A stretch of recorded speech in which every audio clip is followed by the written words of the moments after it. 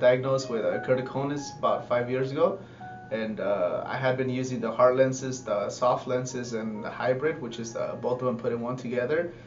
Uh, I had a huge discomfort wearing the hard lenses. The hybrids they were a little more comfortable, but I uh, my my astigmatism I had kept getting worse and worse. I did a little research. I found about Dr. Boxer. Um, I did the first procedure was the cross linking.